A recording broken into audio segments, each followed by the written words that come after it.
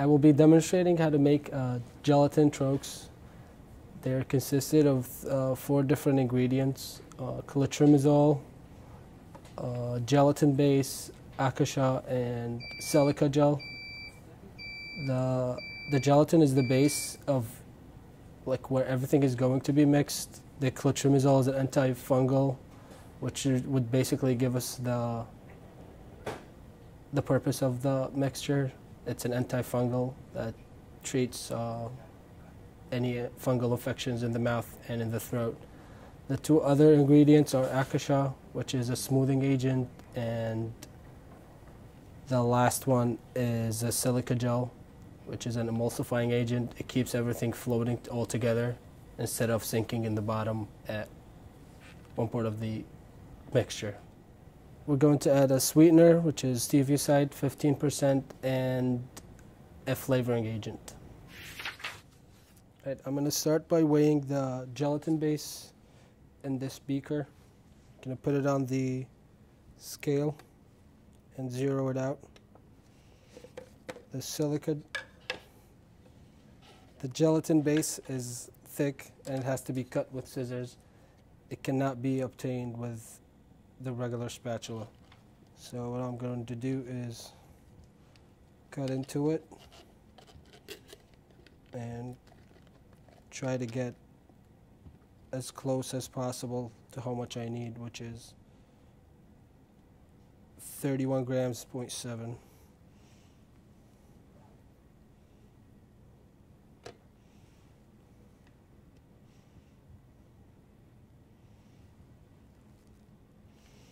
So I'm close enough. I'm going to cut little pieces just so I can make sure I have the correct amount.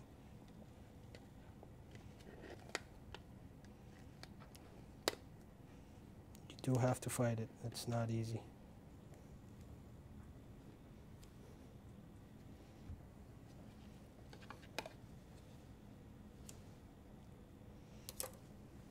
All right, that's about it. Now to melt this uh, gelatin base, we're going to have to place it in a hot bath, but we don't have a hot bath handy, so we're going to improvise and put it in a bigger beaker with hot water.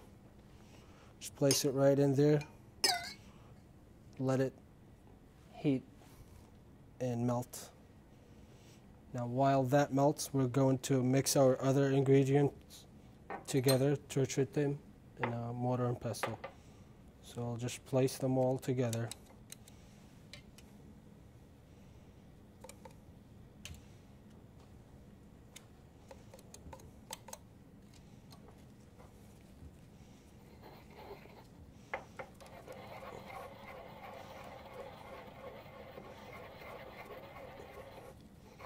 And I'm going to triturate them until we get an even mixture, a homogeneous mixture.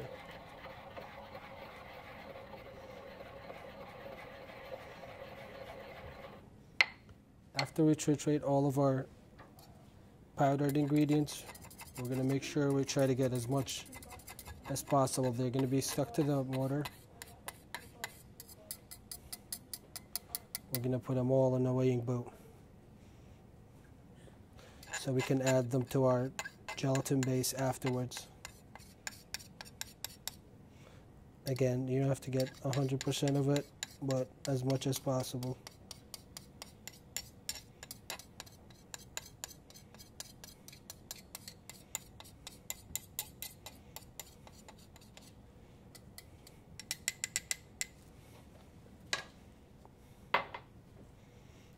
To speed it up we can try to break the little pieces.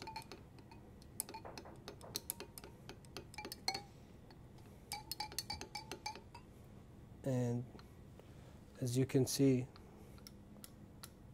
it's liquidy now.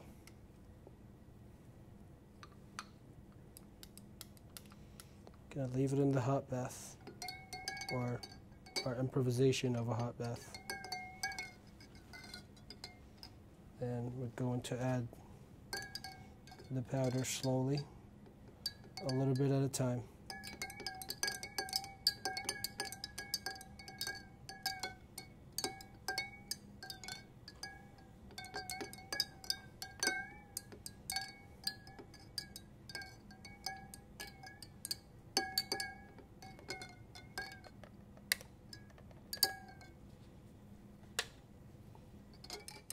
Has to be evenly mixed, so that's why I'm adding a little bit at a time.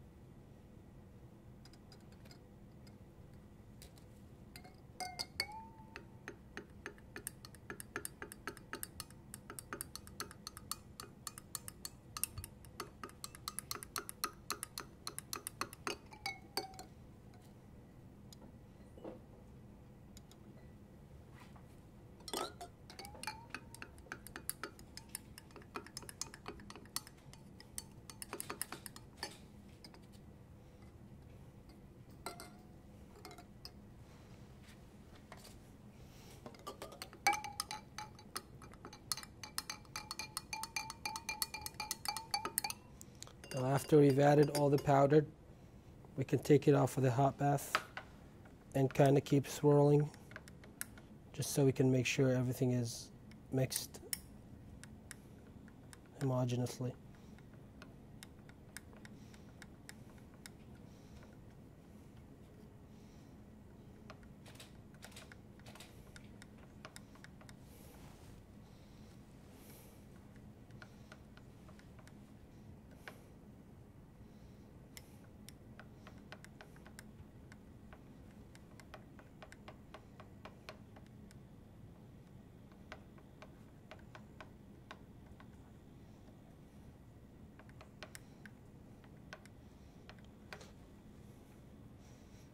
Now we're going to let it cool down a little bit before we pour it into our mold.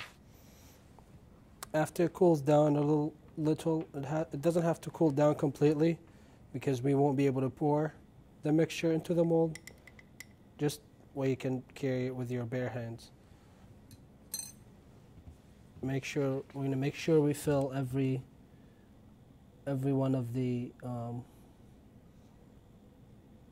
mold cavities.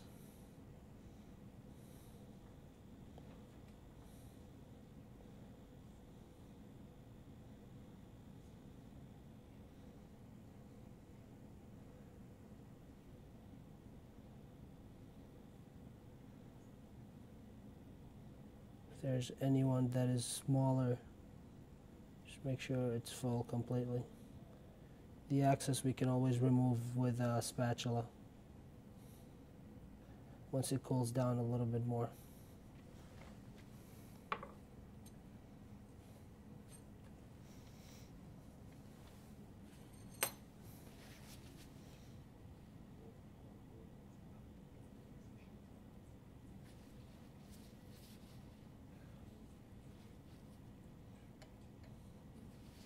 After it cools down, make sure it's labeled properly and put the correct expiration date on it, which should be about 14 days. It's recommended that to do 60 days, but as a pharmacist, it's better to recommend like lower days, and like it's labeled, and that's how the gelatins should look like. And if you can peel one of them, you can peel this off like this, and get one gelatin troche.